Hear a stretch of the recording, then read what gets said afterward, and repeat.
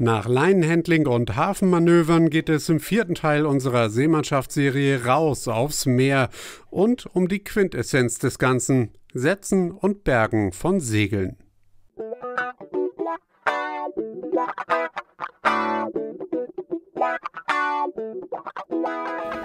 Ja, beim Setzen der Segel äh, vielleicht vorab, bevor wir in die Details gehen auf dem Boot, äh, so ein paar allgemeine Bemerkungen dazu. Ähm, es ist immer ganz ratsam, sich erstmal einen, einen, ruhigen Ort dafür zu suchen. Also nicht rauszufahren, da wo es schon richtig ballert, viel Wind ist, sondern Landabdeckung suchen. So wie wir hier gerade vor Neustadt, wir haben ablandigen Wind. Hier wäre jetzt eine super, sieht man ja auch, hier ist nicht viel los, wäre eine super Situation, um hier schon die Segel zu setzen und dann rauszufahren mit den gesetzten Segeln, bevor man draußen ist. Und dann überfällt einen vielleicht eben Meerwind ähm, ähm, und man muss damit stark schlagenden Segeln arbeiten. Allerdings ist es auch immer, wenn man sich so eine Abdeckung sucht, da ist es ein bisschen böge. Also die Böen, die da reinkommen, sind ein bisschen stärker, aber das ist wahrscheinlich besser immer noch als in draußen auch mit Seegang, also wo es ruhig ist und nicht ganz so viel Wind ist. Da sich so eine, so eine Situation suchen.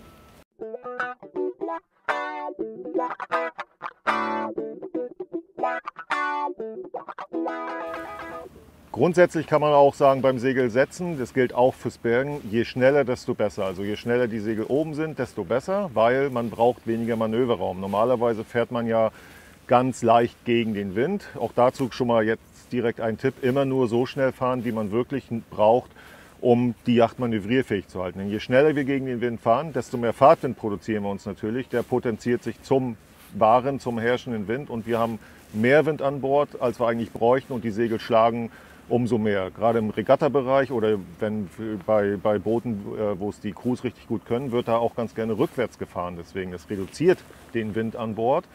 Setzt allerdings auch eigentlich eine Crew voraus, denn alleine rückwärts zu fahren zu steuern und noch einen Fall zu bedienen ist fast unmöglich, weil die Yacht natürlich dann einem auch schnell außer Kontrolle gerät. Aber das eben grundsätzlich langsam fahren, aber die Segel schnell hoch, umso weniger Manöverraum brauche ich dafür, allerdings auch nicht überhastet. Alles so, dass es gut im Griff bleibt.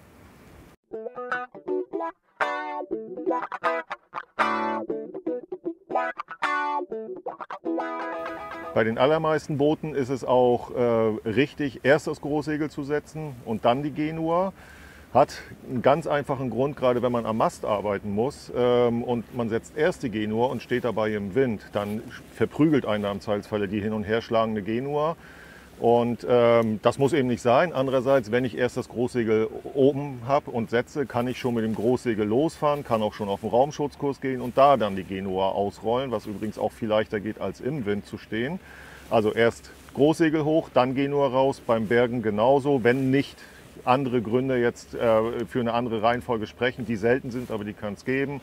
Da auch wieder erst die Genua rein, dann das Großsegel runter.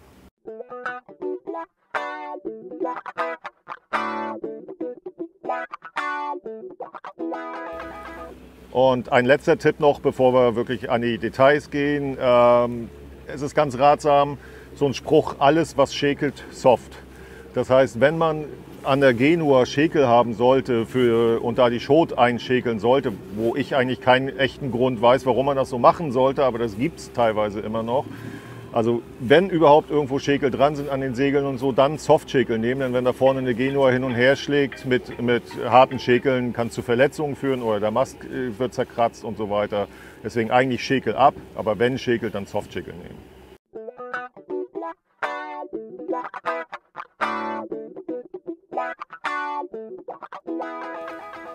So, beim Segelsetzen ist erstmal ein ganz guter Tipp beim Setzen vom Großsegel, wenn wir hier ein normales Großsegel haben, was auf dem Großbaum liegt, die Yacht so zu steuern, dass, es, dass sie nicht genau im Wind liegt, sondern dass der Großbaum hier so ein bisschen an der Seite ist.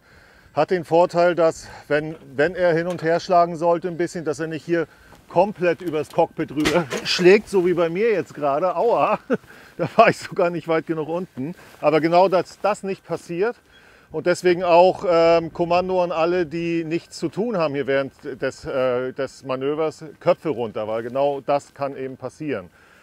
Und deswegen so ein bisschen zur Seite. Und der Tipp ist auch insofern ganz gut, wenn es vorher geregnet hat. Kann hier immer mal Wasser drin stehen. Wenn ich das hier mit Schiffs hochnehme, fällt das hier alles auf die Crew und im Zweifelsfall in Niedergang runter das Wasser. Das muss auch nicht sein. Deswegen so ein bisschen seitlich hier raus.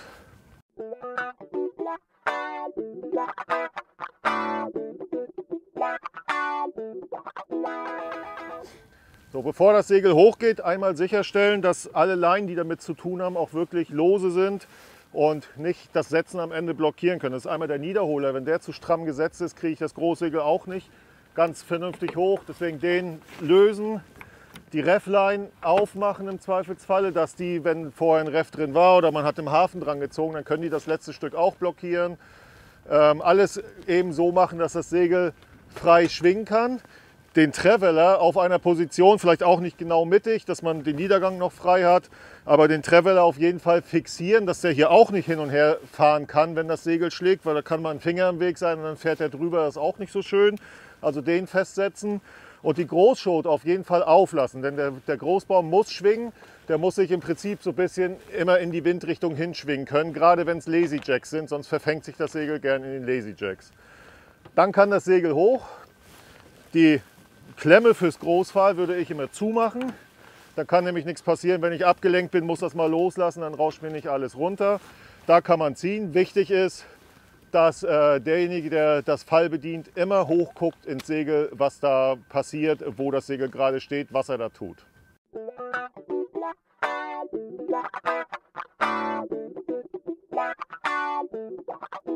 So, wenn wir dann alles vorbereitet haben, bevor das Segel wirklich letztendlich jetzt hochgezogen wird, noch einmal Rundumblick, ob irgendwelche Hindernisse da sind, ob man wirklich freien Manöverraum hat. Denn wenn jetzt irgendwas im Weg ist, ist es ganz blöd. Und dann zügig hoch, Klemme zu, dann kann man es auch zwischendurch leicht auf die Winch tun und umlegen und so und dann zügig die ersten Meter hoch. Wenn man jetzt sieht, dass sich die Latte in den Lazy Jacks anfängt zu verfangen, muss der Steuermann entsprechend steuern oder man kann auch eben den Großbaum entsprechend ein bisschen dirigieren hier hin und her, um die Lazy Jacks aus dem Weg zu bringen. Und dann so wie es die Kraft erlaubt hoch und dabei ins Segel hochgucken, dass man wirklich sieht, wo man was tut, was man da tut. wenn die letzten Meter zu schwer werden, einfach über die Winch und den Rest dann per Kurbel eben rein und auch dabei immer der Blick abwechselnd zur Winch und hoch, dass man sieht, ob das Teil vernünftig läuft und dass man da oben auch keinen Mist macht. Und dann die erste Spannung, so dass es erstmal Spannung drauf ist. Das muss noch nicht der letztendliche Trim sein, aber dass es erstmal schon mal gut durchgesetzt ist. Und dann ist das Segel, vielmehr wenn das Segel jetzt oben ist, dann Niederholer, Refline gucken, sind die alle lose. Okay, da kann man eventuell noch ein bisschen handwarm nachziehen, dass sie nicht so schlackern. Dann zu, Niederholer schon mal bisschen handwarm anziehen. Dann hat man jetzt, dasselbe gilt fürs Unterlieg, und dann hat man jetzt schon mal so eine Art Grundtrim hergestellt, mit dem man losfahren kann, den man dann noch variieren kann. Wenn das große Gill jetzt oben ist, Winch wieder frei machen, schon mal Fall. Alles, was man hier hatte, klarieren zum schnellen äh, Bergen auch wieder. Kann ja sein, dass irgendwas gleich ist und man äh, das wieder runternehmen muss. Das heißt, einmal durch die Hand laufen lassen und ich mache es dann ganz gerne jetzt erstmal direkt den Niedergang runter, dann weiß ich, das kann ich jetzt direkt wieder ausrauschen lassen. Das kommt auch so wieder hoch und dann kann die Genua raus.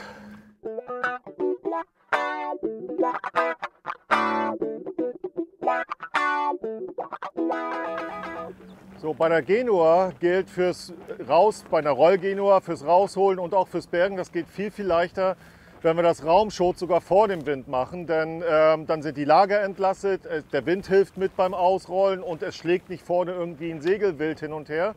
Wenn man jetzt natürlich gleich auf einen Armwindkurs gehen will, kann man, das, kann man sie auch auf den Armwindkurs setzen. Wir zeigen jetzt aber mal, wie einfach das eben geht, wenn man sie Raumschutz rausholt. Das heißt, wir fallen jetzt einfach ab und segeln schon mal los, weil wir haben das Großsegel ja oben. Alles fein.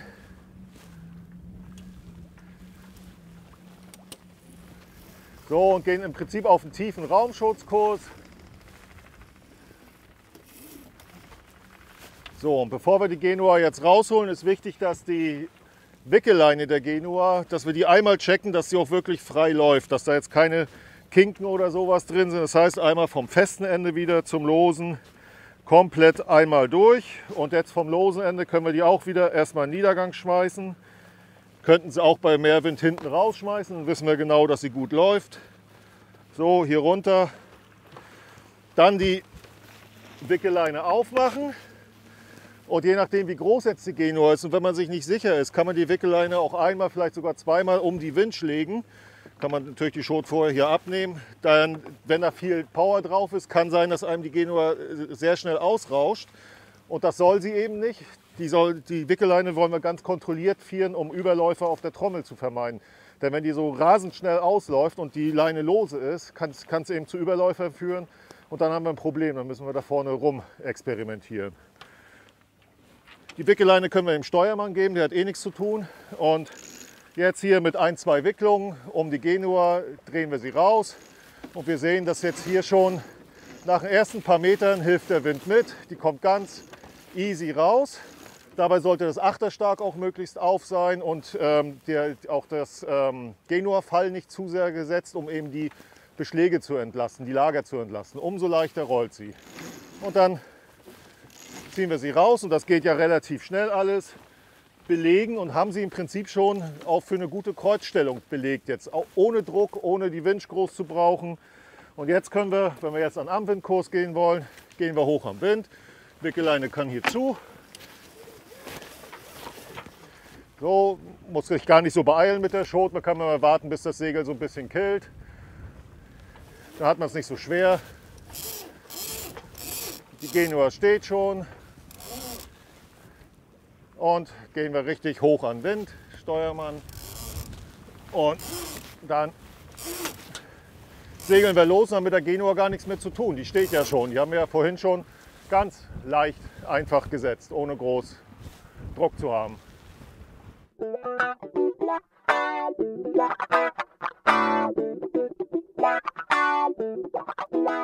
So, jetzt sehen wir mal den Unterschied zum eben gezeigten ähm, Raumschutz oder Formwind ausrollen. Wir rollen sie jetzt mal am Wind aus. Ich fahre wieder die Wickelleine äh, ganz, ganz, ähm, ganz langsam und ziehe dabei die Schote, aber ich habe keine Chance, so wie eben, das Segel dabei gleichzeitig dicht zu kriegen. So, jetzt geht schon der Rest raus. Der Zug auf der Schot wird schon, schon zu stark. Und ich muss jetzt relativ viel Schot mit der Winch reinkurbeln. Das, die Schürze ist über, der, ist über dem Seezaun. Das sind so alles Nachteile, die ich habe, wenn das eben am Wind passiert, das Ganze. Die Schürze kommt hier bei dem Boot rein, das ist gut. Aber ich sitze hier in Lee und muss hier arbeiten. Das muss ich nicht, wenn ich die Formwind rausnehme. Da kriege ich die schon so dicht, ohne was zu tun. Klarieren die Schoten, auch die Luftschot. Wickeleine zu, abnehmen, Luftschot vorbereiten, dass wir schnell reagieren können, falls wir wenden müssen. Großsegel dicht und wir sind auf dem Anwendkurs. Traveler in die richtige Trimstellung. Ist immer ganz gut, erstmal so mitschiffs anzufangen. Kann man sich dann rantasten, ob man ihn weiter draußen oder weiter drin haben will. Und jetzt merken wir schon, schön böig. Unsere Winner 9 läuft richtig gut. An dieser Stelle Dank an unsere Unterstützer Nordic Yachting und Halberg Rassi Deutschland, die mit zwei Yachten diese Produktion möglich gemacht haben. Doch auch wenn es gerade richtig Laune macht, sind wir ja nicht zum Spaß hier. Also nächstes Thema.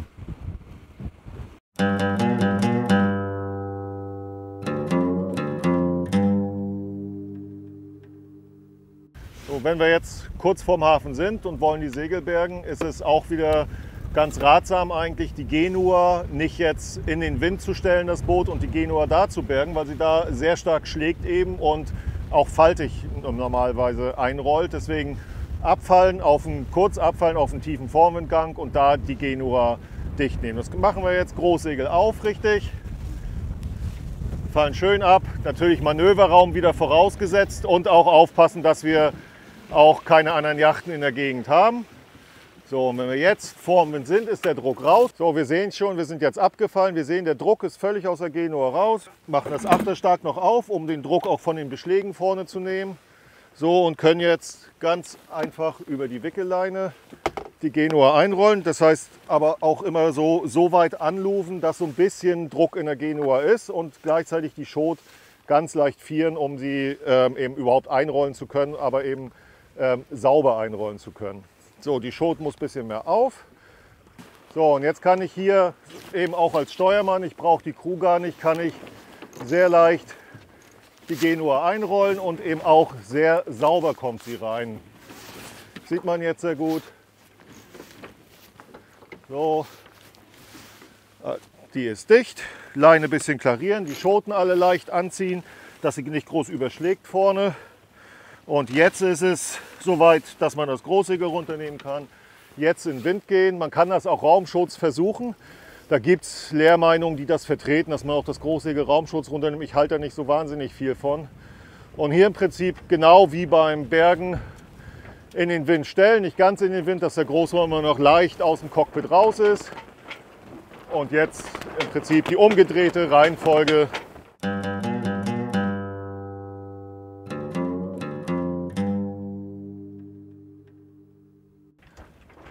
Maschine läuft, ganz leicht voraus eingekuppelt, eben nur wieder so viel Fahrt, wie wir brauchen. Das Fall, Form fallen lassen, einmal wieder klarieren, das heißt einmal ganz durchholen und wieder ganz nach unten werfen. Dann weiß ich, es kommt so wieder raus, wie es war. Das Fall über die Winch ein-, zweimal sichern, weil ich gar nicht weiß, wie viel Druck da am Anfang drauf ist. Jetzt muss der Steuermann kurz in den Wind gehen, gerade für das erste Stück. Klemme auf und jetzt langsam und kontrolliert fallen lassen. Nicht einfach runterrauschen lassen. Jetzt kann ich auch schon von der Wind stehen. Kontrolliert runter. Wenn es nicht weiter kommt, muss man eben nach vorne und dem Segel ein bisschen helfen, dass es sauber runterfällt.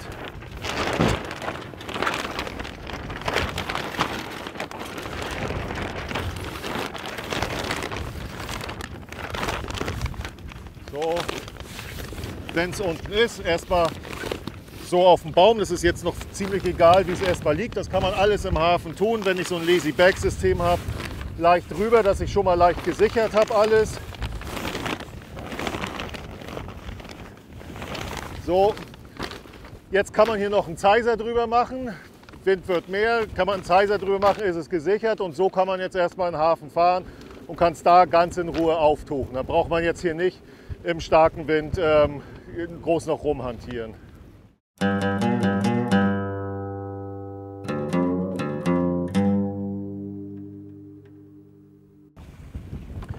Jetzt zeigen wir mal die Variante mit einer, äh, mit einer Rollref-Anlage. Das ist hier eine Selden-Rollanlage, Großsegel-Rollanlage.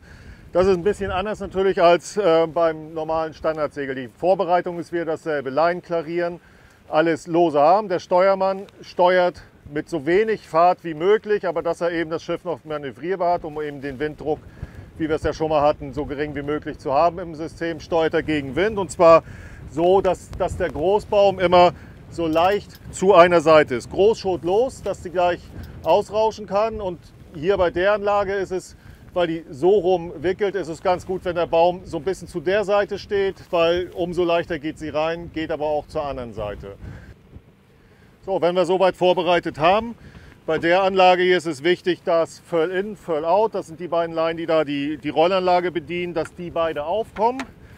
Und raus holt man das Segel mit der Ausholleine, kann man sich hier nochmal über die Winch ein bisschen sichern, falls zu viel Druck kommt. Und weil es jetzt ja ganz in Mast reingerollt ist, hat es am Anfang ein bisschen mehr Widerstand. Und da sieht man, kann man eine Variante sehen, die wir schon mal für das, was wir schon mal gezeigt haben, das Einfallen in eine Leine, wie man eben viel mehr Kraft in eine Leine bringt, nämlich wenn ich jetzt hier wieder wie bei einer Hanepot einfach so das Segel rauszerre. Jetzt habe ich schon das größte Stück geschafft und kann den Rest hier einfach mit dem, mit dem Auto rausholen. Und hierbei auch wieder dahin gucken, wo die Arbeit entsteht.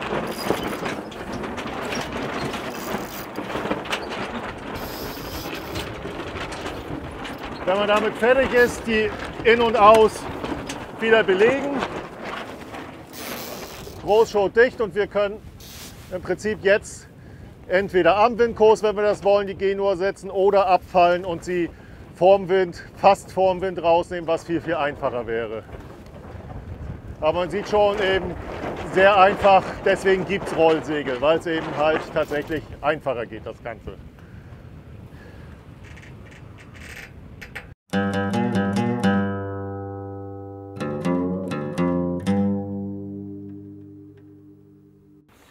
So, hier haben wir noch mal eine Vari andere Variante, die Genua auszurollen. Wir haben keine Wickeleine, das ist ähm, die Wickelanlage ist elektrisch. Das heißt, ich brauche hier, ich habe hier einen Hebel hoch runter, das ist einfach rein raus.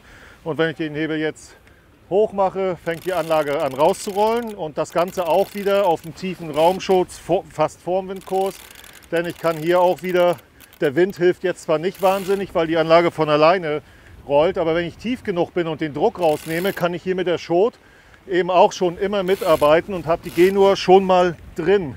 Ich brauche nachher gar nicht mehr groß, wenn ich am Windkurs gehe, kurbeln. Könnten noch ein kleines Stück tiefer fahren, dann, dann geht es noch besser, dass der Druck noch ein bisschen mehr raus ist. Dann habe ich nämlich auch die Schürze, behalte ich drin.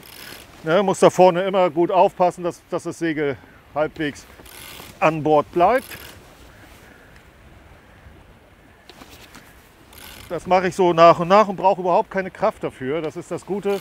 Ich brauche nur die Lose aus der Genua eben rausholen. Mit der Schot eben das ziehen, was geht. So, jetzt ist sie auch schon fast komplett draußen.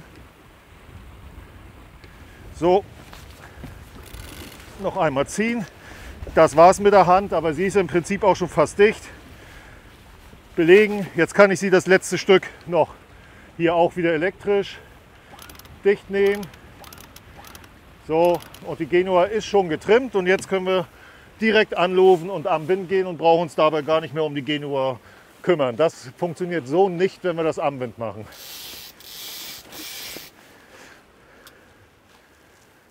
Dabei immer ein bisschen auf den Steuermann warten, das Segel gar nicht groß gegen den Winddruck dicht nehmen, sondern immer leicht killen lassen und einfach nur die Lose rausziehen.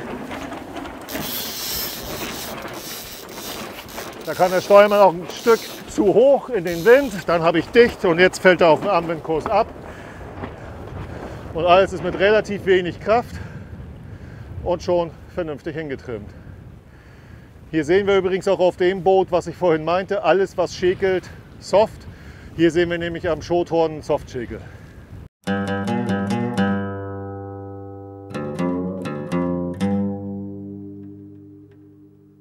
Beim Einrollen ist es dasselbe wie eben beim Ausrollen. Ich brauche hier bei der Variante nur den Hebel bedienen und sie rollt von alleine ein. Muss nur gucken, dass es halbwegs äh, ohne Falten passiert das Ganze. Hier nützt natürlich das äh, Formwindsein weniger, als, ähm, als wenn ich das per Hand bedienen muss. Die Winch würde das sonst auch machen, aber die Fock rollt auch hier viel sauberer ein auf dem Kurs, als wenn ich das am Wind machen würde und sie schlägt. Deswegen auch hier, wenn es das Revier zulässt und alles, ruhig runtergehen auf den Fastformwindkurs und sie ohne Druck einrollen.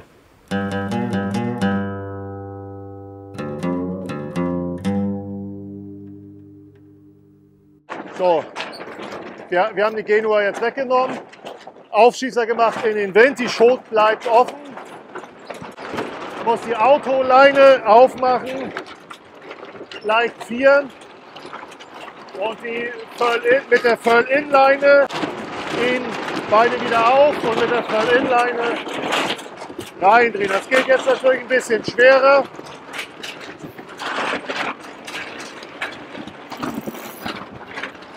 Da braucht man schon ein bisschen mehr Kraft, kann man sich aber auch die Wind stehen, wenn man will.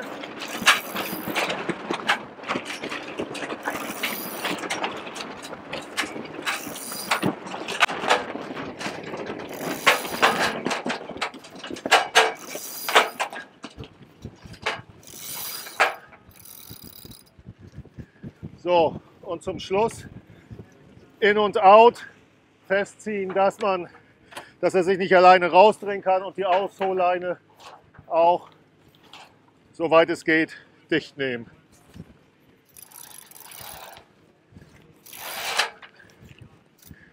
Erledigt. Großsegel sichern.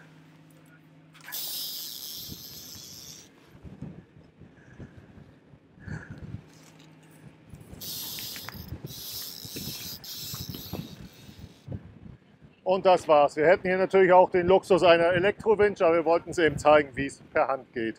Alle Leinen klarieren und entspannen. Und während ihr euch jetzt ganz entspannt die Manöver nochmal durch den Kopf gehen lasst, empfehlen wir euch unser Seemannschaft Kurzabo mit allen Teilen aus der Serie in gedruckter oder digitaler Form. Im nächsten Teil dann zeigt euch Lars, wie ihr Böen einfach und sicher parieren könnt. Demnächst hier bei Yacht TV.